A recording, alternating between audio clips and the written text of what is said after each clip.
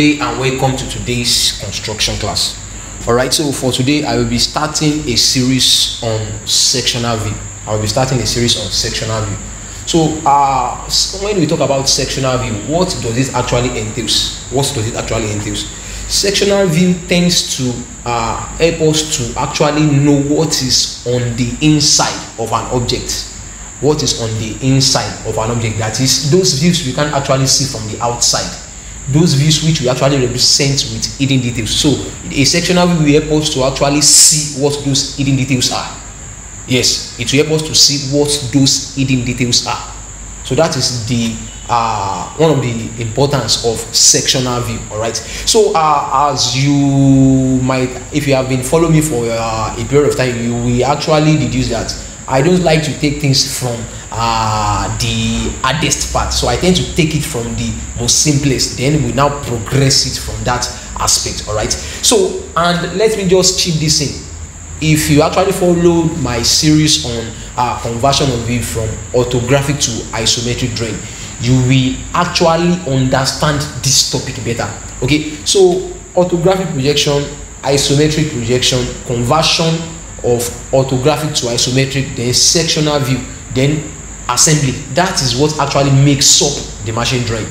That is just it. If you can know those concepts i mentioned earlier on then you are good to go with machine drawing. All right so this is also one of the components of machine drawing sectional view especially for those who uh, will be sitting who are preparing for uh, WAEC exams. All right for WAEC exams. So for high school exams then you uh, this is actually very very important. Or for those who are in colleges okay you might you actually come across uh, machine drawing in one way or the other. So i will be considering this uh, little problem on the screen okay to actually explain the concept of uh, sectional view better to explain it better. So right on the board i am having the front view and the plan of an object. So basically this object on the screen is in what? Is in first angle orthographic projection uh, which uh, this is the symbol for that. Okay.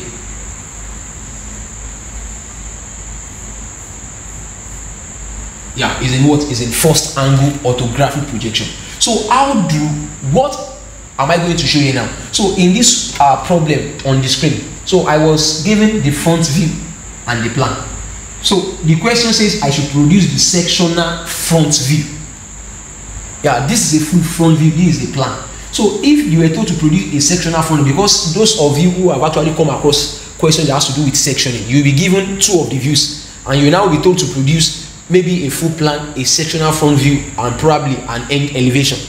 Yeah probably an end elevation. So if i were to produce the sectional front view now look at this object. This is the front view this is the plan. I was given section xx which is half uh, which is a, full section a full section okay? I am to produce what? The sectional front view.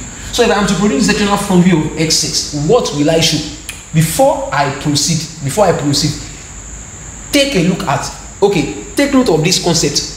If your object is sectioned from the plan and the arrow is facing up like this you have to show the what? The sectional front view. That is the meaning.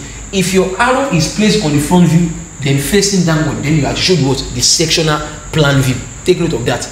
If you have a section on the plan facing upward like this you have to show the what? The sectional front view. And if your arrow is placed on the front facing downward you have to show the what? The sectional plan view. Okay now how do i show the sectional front view of this object? How do i show the sectional front view of this object? You know one thing about section is this. One thing about section is this. You only have business with the area where the object is being truncated upward. So this object is sectioned on this area here and my arrow is facing upward which means i don't have any business with this area at the bottom any longer. That is the meaning. I don't have any business with this area at the bottom if i am to do my section xx because the the the the the the the, the cutting plane is cutting through this area facing upward. So i only have business with this area. I have no business with this area. So if i am showing this area what does that implies this is going to actually be my end product. Let me show you then i'm going to explain it section xs is going to give me this it's going to give me this view yes it's going to give me this view And i'm going to what section this area like this I will explain. Just calm down, okay? Relax. Don't be too anxious. I don't understand. I know you don't understand. Calm down. You will understand, okay? Just relax. You will understand. So if this is my section X X, how do I have this? Now let me show you how this object looks like pictorially. This is this object pictorially.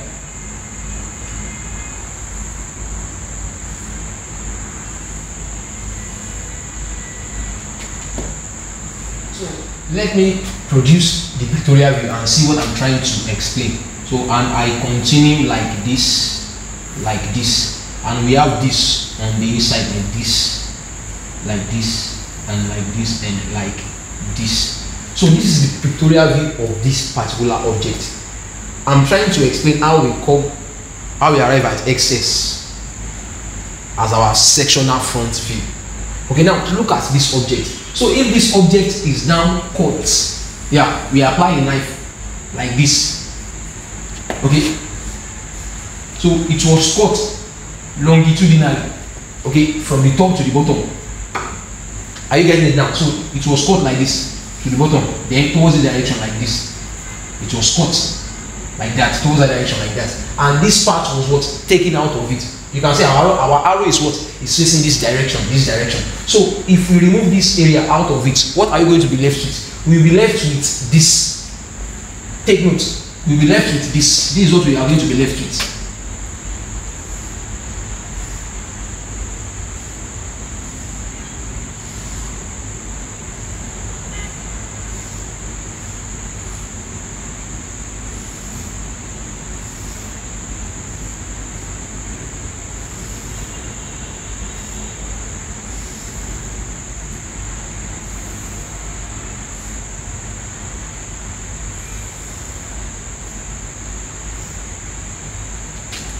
Do you see? This is what I'm trying to say now. So if I cut it from this area like this, this area is what is out of the picture. I am left with what? With only these parts of the object. So this part of the object that I'm left with, this is how it is actually going to look like. Are you following now? This is how it's going to look like. And now, which actually gives us this. So where this, where does this section line comes from?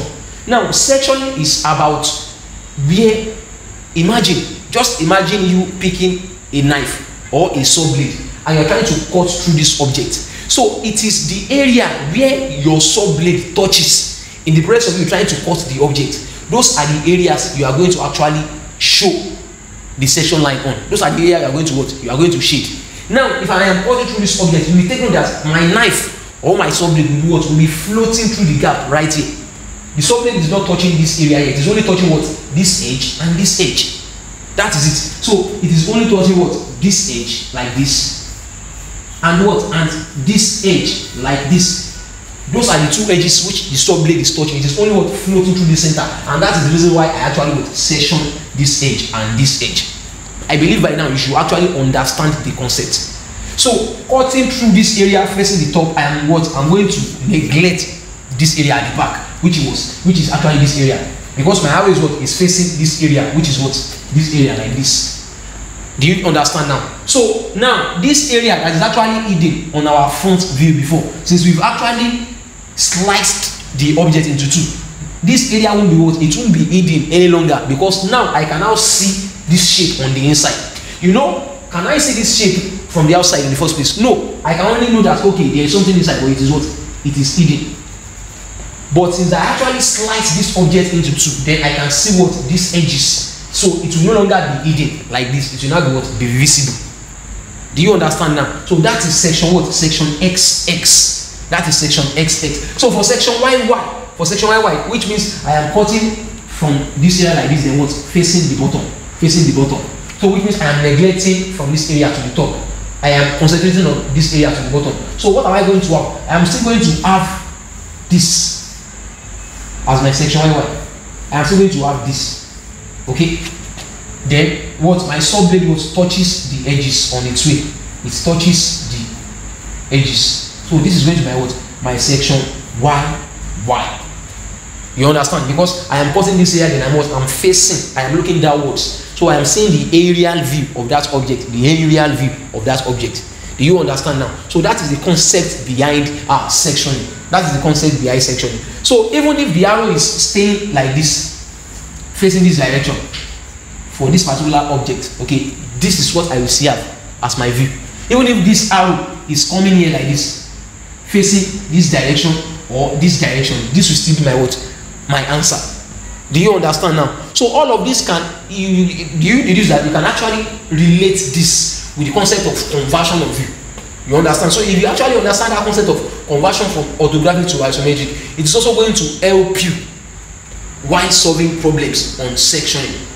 So i am going to actually stop this here. So this is the first part in the series which i will be actually uh, dropping on sectioning. So as from this uh, moment onwards i will be solving questions so i'm going to be increasing the difficulty level little by little just to drive home the concept of sectioning and i believe by the time you watch through the series you will have enough confidence to tackle questions on sectioning once again my name remains oluwatumbi blessing or lalekun the founder of microtech kindly ensure you subscribe to this youtube channel and also refer it to your friends who might be in need of it. Thank you